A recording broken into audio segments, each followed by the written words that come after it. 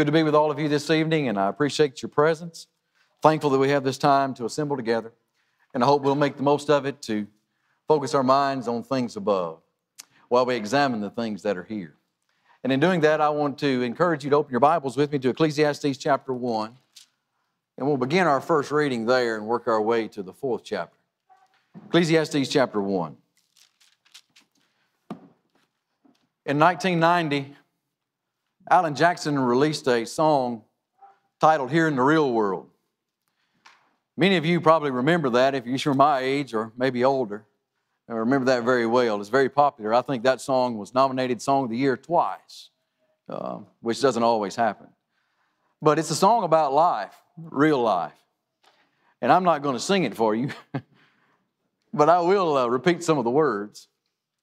Uh, the first verse of that song begins by saying, Cowboys don't cry and heroes don't die. Good always wins again and again. Love is a sweet dream that always comes true. And if life were like the movies, I'd never be blue. But then the chorus goes, But here in the real world, it ain't that easy at all. And isn't that true? We all understand that. It's a very true song. Life is not like a Hallmark movie, is it? You know what I mean when I say life's not like a Hallmark movie. You watch a Hallmark movie and you know what's going to happen. Everything's going to work out just like everyone wants it to work out. Everyone's going to get together just like everyone wants to get together. Everything that is troubling and hard just seems to work itself out by the time the movie comes to a close. But we certainly don't live in a Hallmark movie. Because life has its difficulties, it has its disappointments, it has its trials, and it has its tribulations. And we all have to deal with those things from time to time. And in 1989, when Alan Jackson and a man named Mark Irwin both co wrote that song here in the real world, they didn't come up with that concept on their own. No, that concept's been a part of life as long as there has been life. And I guess one of the wisest men who ever lived wrote about it when he penned this book we know as Ecclesiastes. And he was examining life, looking into it, trying to figure out what all these things mean that are going on around us. And he had a very cynical view of that as he began to examine in chapter 1 in verse 14. Remember what he said. I have seen all the works that are done under the sun, and indeed all is vanity and grasping for the wind. Like this life is useless. It's just like trying to catch the wind and hold on to it. And I don't know if you've ever tried that, but it's impossible. And Solomon said, that's, that's what I see when I start to examine what's going on around me. But then he re examined things and he asked that question one more time. And when you get to chapter 3, and Jackson, we didn't talk about this at all, but your reading works out very well. You get to chapter 3 and verse 9, and you find Solomon again asking a question What profit has the worker from that which in which he labors? I have seen the God given task which the sons of men are to be occupied. He has made everything beautiful in its time. He now re examines things with a Godward outlook and he says, Look, I realize that, you know, life does have difficulty, but those things are there for a purpose. All this turmoil and trial that I have to wade through from time to time. It's, it's here because it's molding me and it's shaping me. Solomon had, by the time we get to chapter 3, he's looked above and he's began to realize uh, that God has a purpose for every season. And again, that purpose is shaping us into these beings that are befitted to be His people. He looked within and he saw that man is an eternal being. And look, there again, we're being shaped for not this life, but the life that is to come. Solomon looked to the future and he saw that, you know what, death is coming. Every day that we live, it's coming a little faster. But at the same time, death's not the end because judgment is coming and God is going to judge each person according to their deeds. But by the time we get to chapter 4, he's again looking at something he has not yet addressed, and that is what is around each and every one of us. And that's the burdens of the real world. And how those things factor into the lives that we live as we sojourn here on this earth. And as Solomon begins to examine these things, he again looks at it through a cynical view, first of all. But that's not where he wants us to stay. He wants us to understand that if you only have this cynical view of life, then these things that you experience day in and day out are not going to help you. They're only going to hinder you and make things worse. But look at them through that Godward view and have that vision on things above, and it will help you as you live here below. And as we get into chapter 4, he's going to show us four things that we all need to have an understanding of so that we can rightly apply the lives we live here, as Solomon says, under the sun. First of all, what we see is the burden of government corruption. Notice what Solomon has to say about that beginning in chapter 4. We'll read the first three verses. Then I returned and considered all the oppression that is done under the sun. And look, the tears of the oppressed, but they have no comforter. On the side of their oppressors there was power, but they have no comforter. Therefore I praise the dead who were already dead more than the living who are still alive. Yet uh, better than both is he who has never existed, who has not seen the evil work that is done under the sun. It's interesting that Solomon looks into his own government. And what does he see?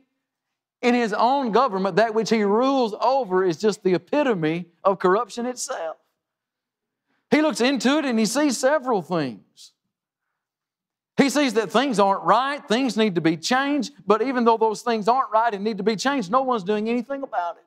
And he just goes on and on and on again like a cycle that no one can stop, not even Solomon. And you take you back up and you take a, a wide view of this, and you have to remind yourself that yes, God has put a system of government in place here at this point for Israel. And this, and this system was to be conducted according to God's will.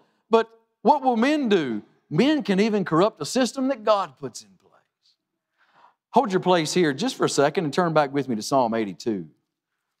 And notice what the psalmist had to say about this very thing. Psalm 82. Just a couple of verses here, but it really sets the tone.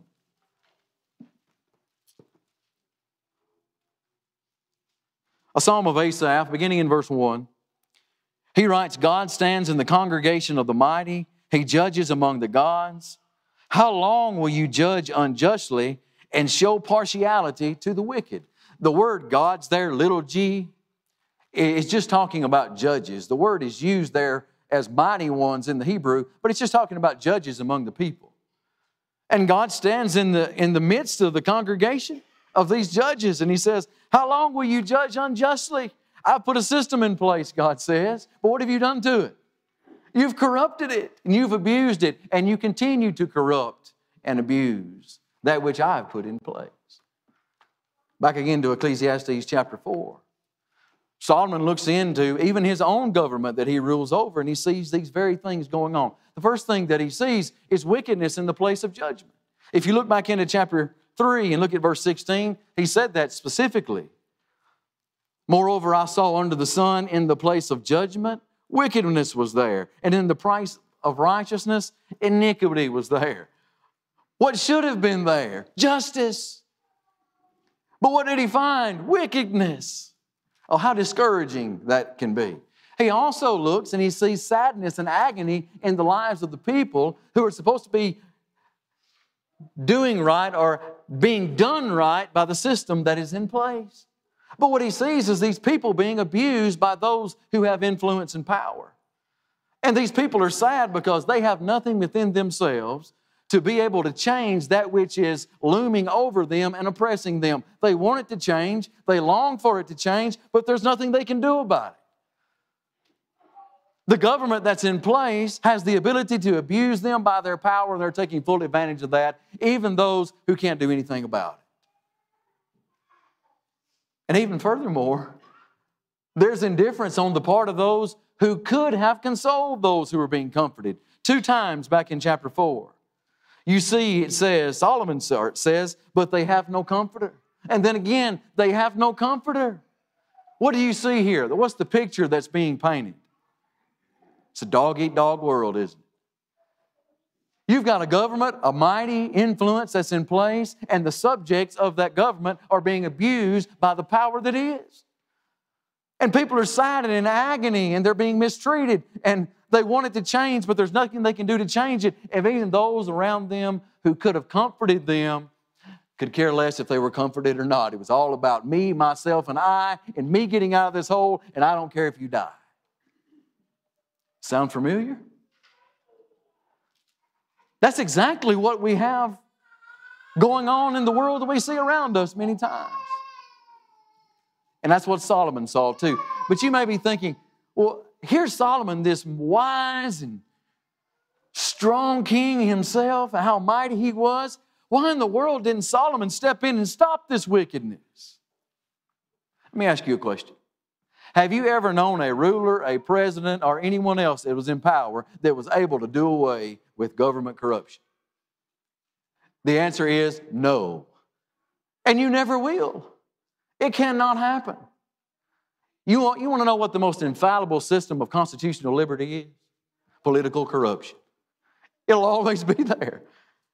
And no one can ever do away with it. And Solomon had to come to terms with that and learn that, look, I'm just going to have to live with it, even though I'm the ruler of this kingdom. And we have to be able to see the same thing that Solomon sees. It may be difficult at times. But there again, today, under the sun, there's nothing new. What do we see? When we look in the place of judgment, brethren, what do we see? Do we not see wickedness? Do we not see things that should be done wrong and they're not even moral? But those things are carried out, and those who are in power and have influence abuse those who do not have power and cannot change it and do nothing about it. And sometimes we are the ones who are oppressed, aren't we? And we see sadness in lives of the people who, who want things to be different, who won't change, who are being so pressed down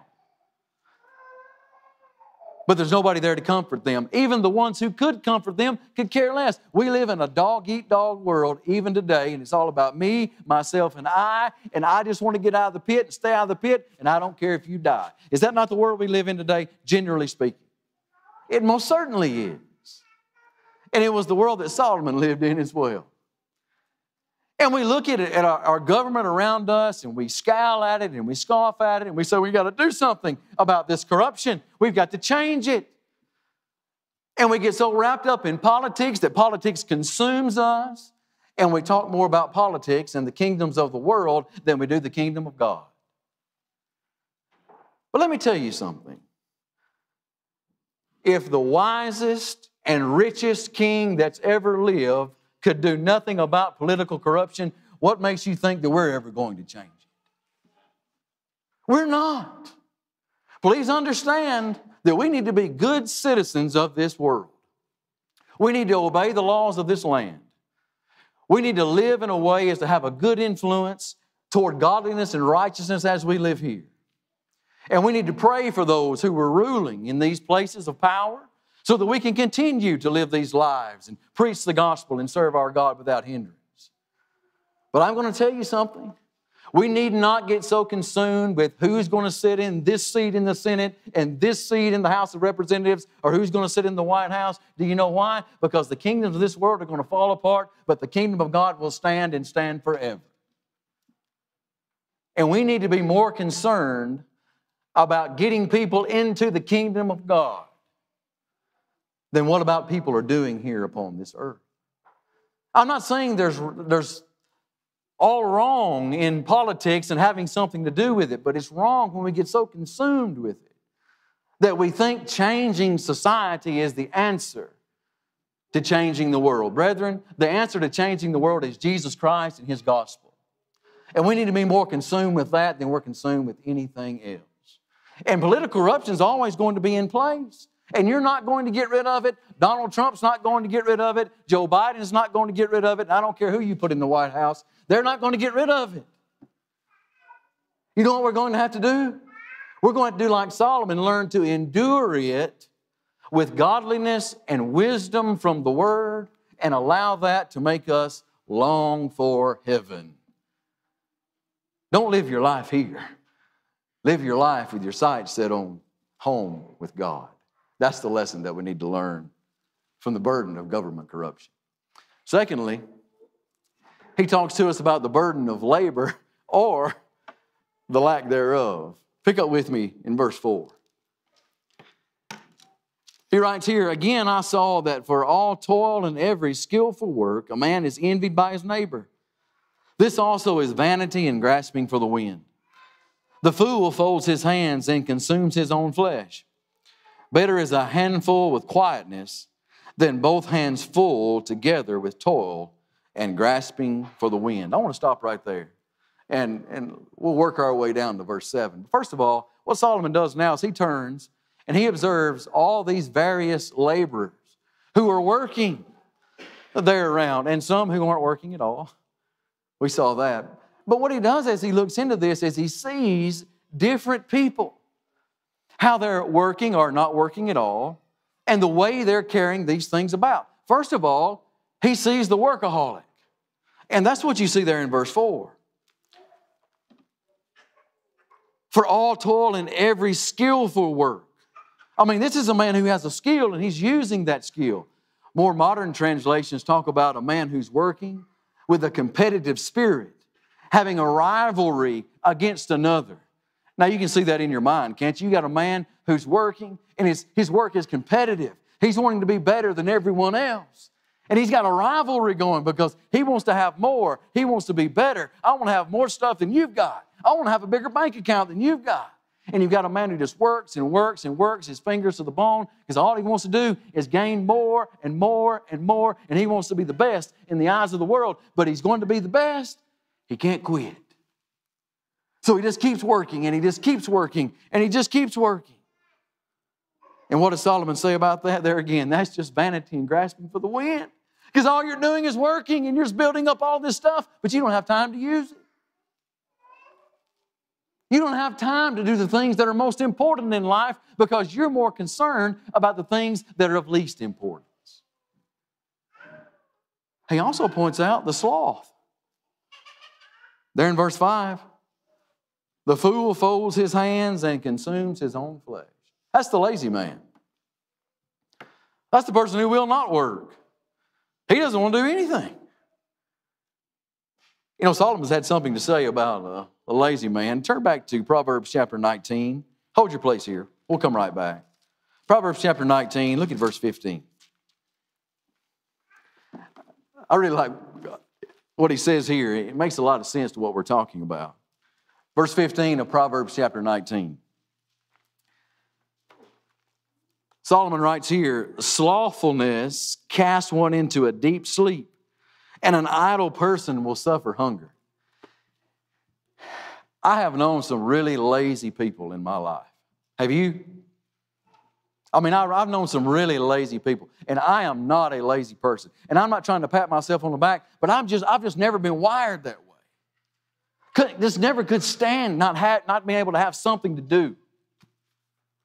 But I've known some people who could care less about having something to do. And you know what they were in? It was like they were in a lazy man's coma when it came to work. I mean, they were just in a coma and they couldn't come out of it. Is that not really what Solomon's talking about here? Slothfulness casts one into a deep sleep. It's like you convinced yourself that you just can't do anything, so you're not going to do anything. But what does that do? Both verses here, verse 5 of chapter 4 and Proverbs 19 15, both tell us that that man, what he does, when he convinces himself that he doesn't need to do anything, doesn't want to do anything, and eventually you just convince yourself, I can't do anything, you know what you do? You ruin yourself. You destroy yourself and everyone else that you're responsible for. Why? Because you're too selfish to take care of yourself and your own.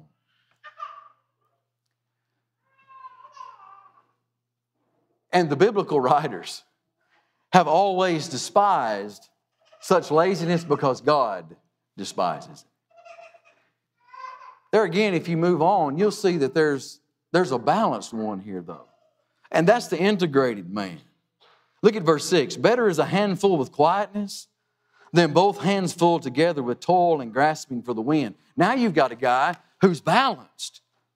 He's responsible He's working and he's providing for himself and for his own, but at the same time, he's not consumed with work. He's not consumed with being the best among his workaholic peers. He doesn't have to have his name up in lights saying that this is the number one man. He's got more stuff, and he's always going to have more stuff because he's going to work himself to death just to have it. No, this guy understands that I have to, to provide, but at the same time, I need to make time to make sure that I'm a balanced man and those whom I'm responsible for not only have provisions to live on, but they've got to have a life that's worthy of the time that I'm spending with them. Uh, they should be worthy of the time that I spend with them. A home can only be made if time is spent therein. And Solomon points out here that someone has to have time to be able to give the attention to his spouse and to his family that they need to have so that they can have a well balanced life also. If your home is missing a mother or a father that aren't there most of the time, then something's going to break down within that home and it's not going to be good. And if I spend all of my time slaving and working my fingers to the bone just to make sure that I've got all of this stuff and I want to hang on to this stuff, but my family falls apart because I don't have enough time for them, I have failed. So, what he wants us to see is, is that this needs to be balanced. Yes, I need to uphold my responsibilities to make sure that I work and provide, but at the same time, I need to make sure that I have time for my family to spend that good time with them so that they can understand the most important things in life. That brings us to verse 7. He looks again. I don't know what happened there. Okay. Then I returned and I saw vanity under the sun. There is one alone without companion. He has neither son nor brother, yet there is no end to all his labors. Nor is the, is the eye satisfied with riches, but he never asked, For whom do I toil and deprive myself of good? This is also vanity and a grave misfortune. You see, this is another person altogether.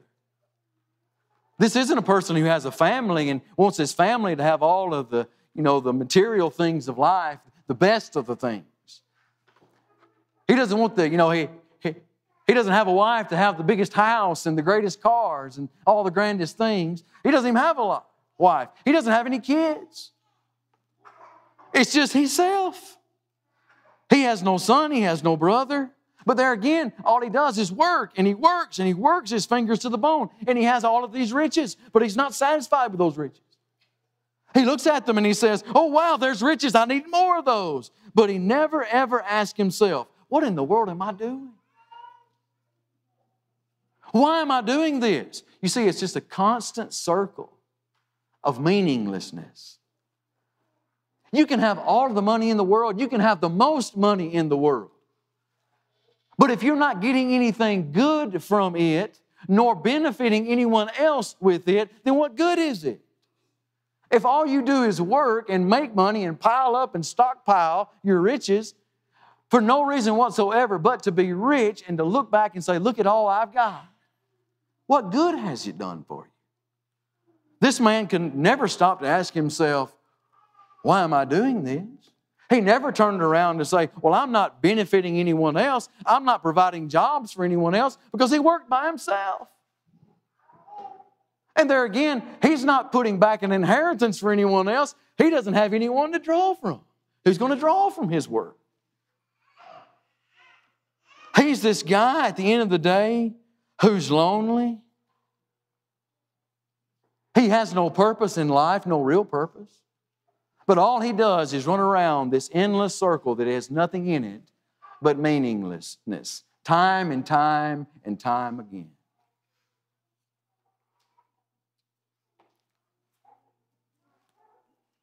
Well,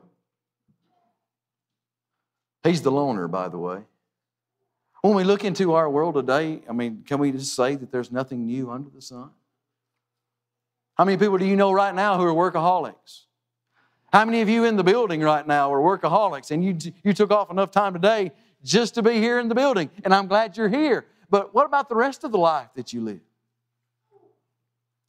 Is there someone in the pew tonight who's just so lazy you don't feel like you need to work, don't want to work, and somebody else needs to provide for you? Are you that loner here tonight who just doesn't want anybody else to be a part of your life? I just want to work, I just want to lay up treasure for myself. It's about me, me, me. But really, at the end of the day, I have nothing. And life's just miserable because I just keep doing this endless cycle. And at the end of the day, it's all meaningless because I have nothing that I'm working toward or for. Solomon wants all three of these people that he's spoken of to be examined and examined carefully. But he wants us to understand yes, we need to work. God desires for us to work with our own hands, to provide for our own and live a quiet life. But at the same time, he does not want us to be people who are concerned, consumed with the jobs that we have and only laying up earthly treasure. He wants us to be that integrated man, that balanced one, who understands that I have to have time with the family that I have. And even if you don't have a family, you have to have time for people in your life that are going to be good, beneficial for you, to help you see the most important things. And sometimes when you're all alone, and Solomon's going to get there in this next point, when you're all alone and you have nothing else to live for, with not God in your life or anyone else good in your life, all that you can see and look at is that person you see in the mirror, and you live for that person and that person alone. And that's never good, is it? Because that's a life of selfishness. What's the lesson that we have to take from this? Well, the lesson is the happiest people aren't always the wealthiest or the leisureliest. That's a real word, by the way. Did y'all know that? I did not until I found it. I didn't have enough room to put most leisurely, so I threw it out there, and guess what? It's a word. But the people who have the most aren't always the happiest. And the people who sit around and do the least, guess what? They aren't always the happiest either. Do you know who the richest, happiest people in the world are? They're people who have sincere relationships. Number one, a sincere relationship with God and a sincere relationship with good brethren and friends. Those are the richest people in the world. And aren't you thankful that you have those sincere relationships? Jesus wants us to have those. When Jesus was questioned about what was the greatest commandment in the law, Matthew 22 and verse 37, he answered by saying, The greatest commandment is to love the Lord your God with all your heart, with all your soul, and with all your mind. That is the first and greatest commandment. And the second is like it to love your neighbor as yourself. That's how you build sincere relationships, isn't it? And when we have sincere relationships like that, then we can find true contentment and satisfaction. But listen to me. You've got to have time to build relationships like that. The person who's the workaholic, That person doesn't have time to build a relationship with God, nor with his wife, nor with brethren, or have good friends, because he's consumed with himself and laying up his earthly treasure. The lazy person is so consumed with being lazy, that's all that person cares about. That's a person who's destroying himself, and you all know lazy people who destroy themselves. And they care nothing about anything else but just doing nothing. But the integrated person is the person who's going to uphold his responsibilities in the physical, but he's also going to make time, spend time, take time to make that relationship with God and to make that relationship with good brethren and good friends because those sincere relationships are the things that are going to help us overcome the burdens of this life. And we must have them. A third thing Solomon points out is the burden of being alone. And it seems that he's looked into this loner long enough that he understands that, man, it's good to have a companion. Please understand this there's nothing in the context about marriage. We're not talking about marriage here at all. So let's just take our minds away from that. We're talking about companionship, but not the marriage relationship at all. Look at verse 9. Two are better than one because they have a good reward for their labor. For if they fall, One will lift up his companion, but woe to him who is alone when he falls, for he has no one to help him up. Again, if two lie down together, they will keep warm. But how can one be warm alone? Though one may be overpowered by another, two can withstand him, and a threefold cord is not quickly broken.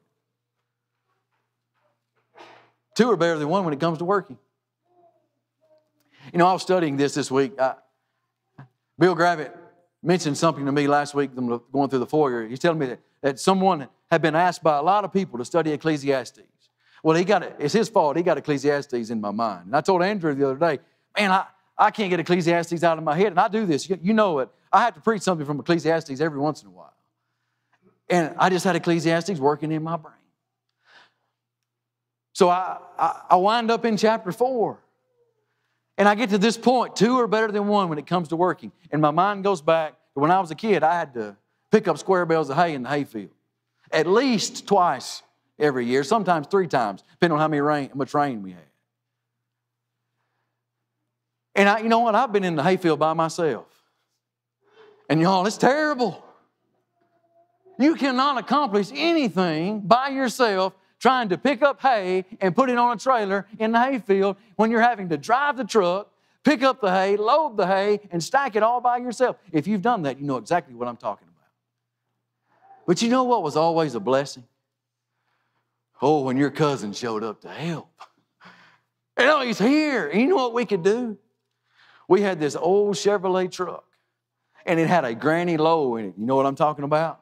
And you could put that thing in that real low gear, let out on the clutch, and get out of it, and it would just drive on straight. We had a nail driven in the floorboard. We bent it over, bungee strapped the steering wheel to that bent over nail, keep it driving straight. You know what? Somebody could pick up hay, throw it on the trailer, another one could stack it. And we could go to the end of the row, turn the truck around, and do the same thing. You know what? That was efficient. Was two better than one? Oh, you bet it was. And we got something accomplished. And that's what Solomon's talking about here. He understands that. Two people can accomplish so much more and they can earn more for their work, can't they? They have more benefit from their labor when they're working together. If someone gets, if someone falls down, if something breaks, well, you can help get it fixed and get it all back together. Four hands are much swifter than two. And that goes to all areas of life. He also points out that two are better than one when it comes to survival. What do you mean by survival? Well, there again, look at verse 11. If two lie down together, what can they do? They can keep warm, can't they? There again, we're not talking about marriage here. And believe me, I, I like to, I like to have a, my wife sleep with me in the bed. That's why I got married. I didn't get married to sleep by myself. I've never understood why husband and wife sleep separate. But that's not what we're talking about here. We're talking about two people working together. Let's just say in Solomon's day, someone had to go on a journey. And maybe they had to go through harsh territory, harsh environment. Hey, if they had to stop and camp for a night and it was cold, guess what? You might freeze to death. But I want to tell you something that I know something about. I have backpacked in the mountains enough, and I have been in the Smokies way up there in the middle of nowhere when there was snow on the ground in January, and I was proud to have someone else in my tent just to have the extra body heat. Because that helped me keep warm. And the point that Solomon is making is, is like two are better than one when it comes to survival. Jesus sent them out how? Two by two. Because he knew they could help one another with the work that they were doing. They could help one another stay alive. And they also could help one another be safe. Well, that's been a principle that's been all throughout biblical times. Does not Solomon make that point too? Though one may be overpowered by another, two can withstand him. And a threefold cord is not easily broken. When you have good companionship, you can take care of one another. You can provide for one another. You can help and encourage one another. What he's talking about here is the necessity of good relationships again. It's a burden to be alone in life. It's not good to be a loner. And there's nothing new under the sun today. You know what that I have enjoyed more than anything? Or one of the most, one of the greatest things I've enjoyed over the last almost five years now is having a coworker to be able to work with in the work that I'm doing here. I've never had that before. But I'll tell you what, I wouldn't trade it for anything. To have a good man like Andrew who can share the load with me. And we help one another. And we, we, we share and we bear the load together. And if someone's got a little bit more, then we step in and we help out so we're not overburdened. And I believe everything goes really well. And I, I, I definitely wouldn't want to change that.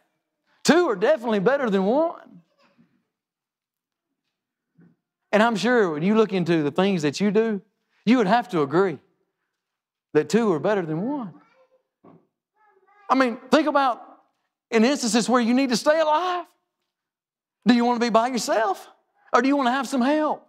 What about you go into an area somewhere where it's a little bit shady? Do you want to go by yourself or do you want to take someone with you? I know some places that I don't want to go door knocking by myself, but I'll go if someone's with me. Now, I want you to think about that. Let's back up and look at that spiritually speaking.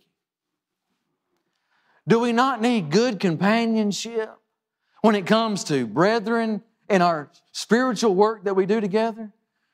We can't, we can't do the work that we're doing here in the kingdom by ourselves. We need one another to encourage one another and to help one another along. In the same way, we're looking out for one another when it comes to spiritual survival. Listen, brethren, disciples, don't be loners.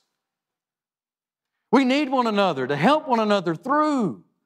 We're trying to keep one another safe and secure within fellowship with God. Isn't that important to us? Well, God says we need that. What's the lesson for us?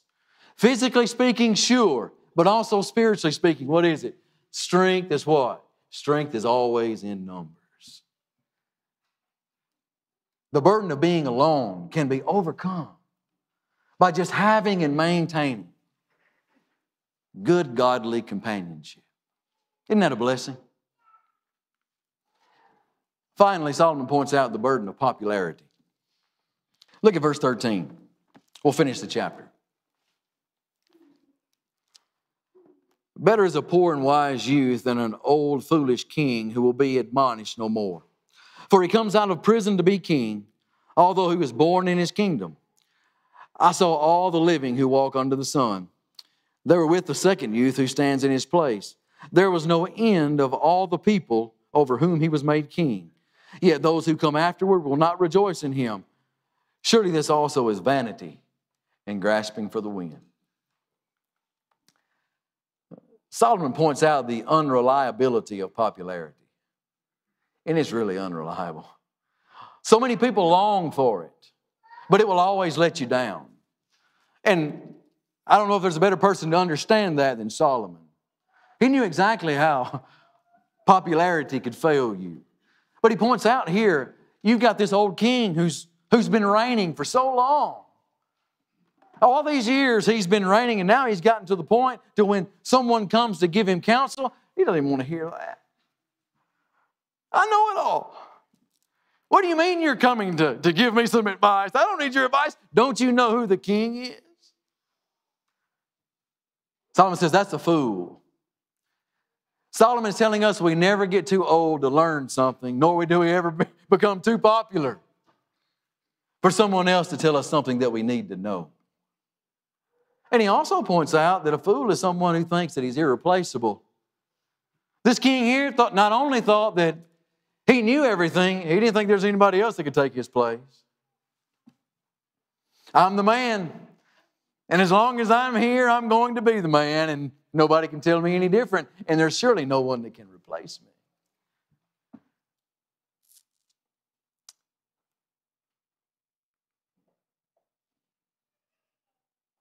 Popularity wanes like the shifting of the wind, doesn't it? What happened to this guy? Well, Solomon points out, you know, it's better to be a poor, wise youth who's been in prison than it is to be this foolish old king who will not listen to wisdom. Why?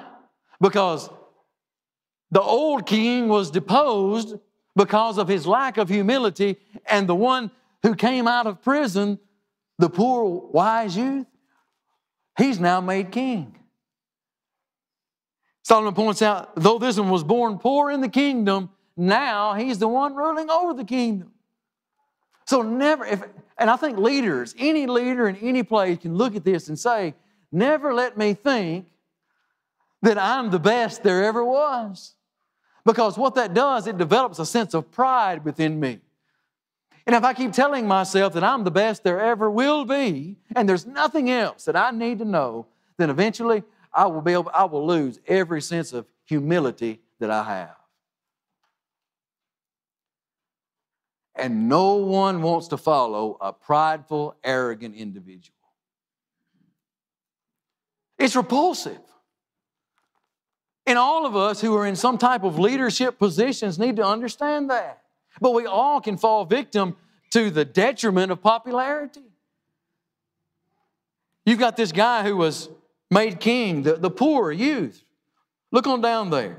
Look at verse 15. I saw all the living who walk under the sun. They were with the second youth who stands in his place.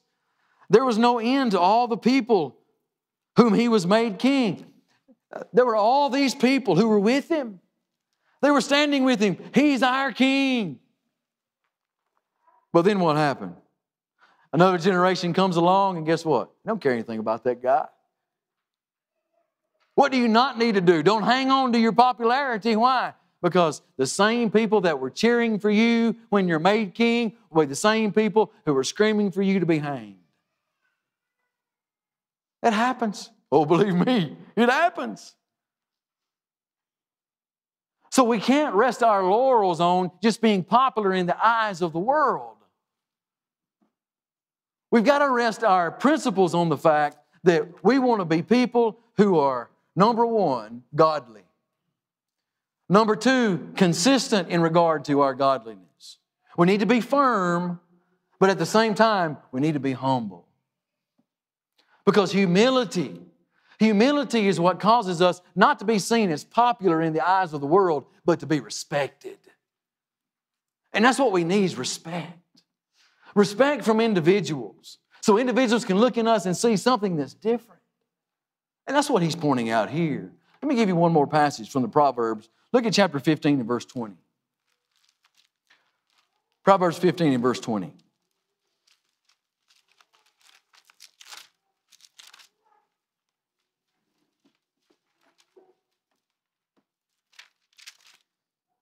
That is not what I want. 1320. Sorry. Notice what Solomon says here. He who walks with wise men will be wise, but the companion of fools will be destroyed. We never need to get too big for our britches. I always heard that growing up. But I think it's accurate. You know, we can get so, we can think we're so big and we're so you know, we, we're so powerful and we've, we've got so much within ourselves. We don't think there's anything that anyone else can give us. But I don't care how much we've achieved, how much we've accomplished in our lives, there's always someone who can help us. And I need to have the humility to be able to accept that. And I need to tell myself that too. And I, try to remind myself of that all the time. That I can always learn something from someone else. And if we are going to be leaders for others, we have to learn that popularity is not something that we need, not nor something we should desire, but respect that comes from being humble in the eyes of others. That's what's going to help us be who we need to be. There's nothing new under the sun today. Being well known is not always cracked up to be, not in the eyes of the world. But what should we want? There again, we should just want to be people who are, are not looking to be seen as, as these people who are to be looked up to and envied. But people who are looked at as, as people who are solid. If we learn anything from Solomon and what he learned in his venture around the sun, we need to learn that, that pride goes before destruction and a haughty spirit before a fall. If Solomon could go back and do it all over again, he would tell us, you know what? Just be humble. Though you may have a lot and you may know a lot, present yourself as humble. because you're going to teach someone a whole lot more. You're going to lead someone a whole lot further if, they can, if you can be approachable. And reproachable people are those people that earn the respect of others.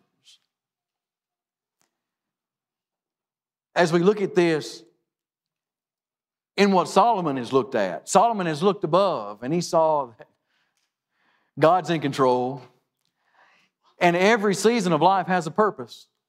He's looked within and he saw that man's an eternal being.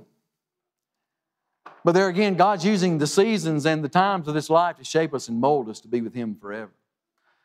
He looked into the future and he saw that death's coming. But also, death's not the end. The death's just preparing us to be eternal. And everybody's going to have an eternal place. Solomon looked around and he saw that there are burdens of the life, there's hard times, but use these burdens to motivate you to long for heaven. Solomon looks and he sees that, you know what, it needs to be a balance. Do not ever give up the permanent to get your hands on the temporary. Solomon looks out and, and he sees that, you know, life is about not just selfishness and greediness and covetousness, life is about sincere relationships with God and with others. And those sincere relationships are what's going to help us overcome this world. And as far as popularity goes, Solomon said, you know what? Popularity can be poisonous. But godly wisdom and humility is what will lead us to life and life more abundantly. Isn't that right? The wise man has taught us well. It certainly wasn't me. But let's take this and apply it to our lives. And I hope it's been beneficial to you as much as it has to me. That's your lesson tonight. If you're here tonight and you need to respond to the gospel in any way, we stand ready to help you tonight. If you need to become a Christian and you've heard the gospel and you believe it, why not obey it tonight through repentance and baptism? We stand ready to help you and we'll rejoice with the angels in you doing so. If you need to make your life right with God in any way, why not come now while we stand and we sing this song?